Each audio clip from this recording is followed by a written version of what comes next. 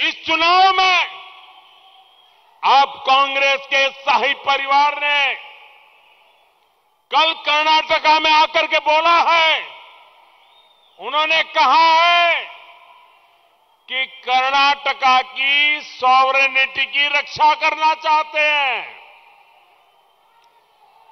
कर्नाटका की सॉवरेनिटी यानी कि कर्नाटका की संप्रभुता।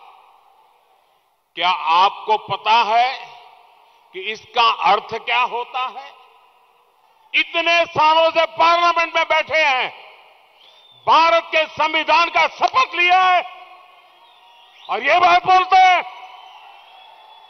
जब कोई देश, सुनिए दोस्तों, जब कोई देश आज़ाद हो जाता है तो उस देश को संप्रभु राष्ट्र कहते हैं।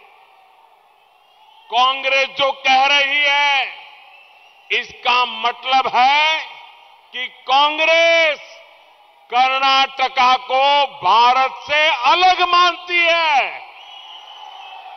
क्या आपको मंजूर है ये बात? आपको मंजूर है? ऐसा कहने वाली कांग्रेस को सजा करोगे नहीं नहीं करोगे?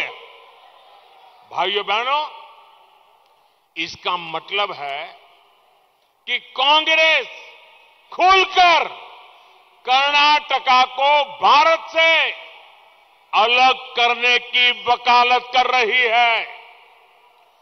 टुकड़े टुकड़े गैंग की बीमारी कांग्रेस में इतनी ऊपर तक पहुँच जाएगी, मैंने कभी सोचा तक नहीं था।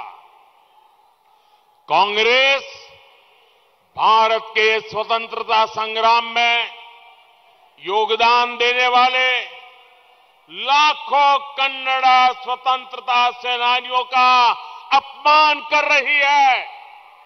कांग्रेस करोड़ों कन्नडिगा की देशभक्ति का अपमान कर रही है। भाइयों बहनों ये कन्नड़ा वो धरती है जिस धरती पर राष्ट्र कवि कुवेम्पू जी ने साफ़ साफ़ कहा रहा है। साफ़ साफ़ कहा है कि कर्नाटका भारत राष्ट्र का अभिन्न अंग है। जया भारत। जया भारत जननिया जननिया तनुजते जया है कर्नाटक माते। कर्नाटका हर कन्नडिगा के लिए एक माँ है माँ। और इसे भारत माता की बेटी के रूप में वर्णित किया गया है। यही यही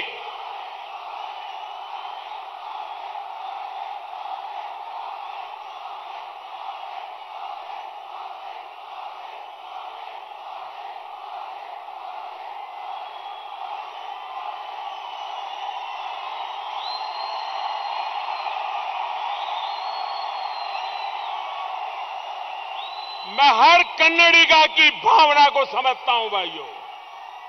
आपके दिल की आवाज़ को समझता हूँ। इस भावना का पान कर्नाटका की संस्कृति यहाँ के गौरव का अपमान है। भाइयों बहनों, कांग्रेस का इतिहास यही रहा है। कांग्रेस ने भाई को भाई से बांट दिया। कांग्रेस ने राज्यों को आपस में लड़ाया। कांग्रेस ने देश में जाति और सांप्रदायिक आग भड़काने में कोई कसर नहीं छोड़ी है। और जब जब उन्होंने ऐसे किया है, भारत की जनता उन्हें हराने के लिए एकजुट हो गई है।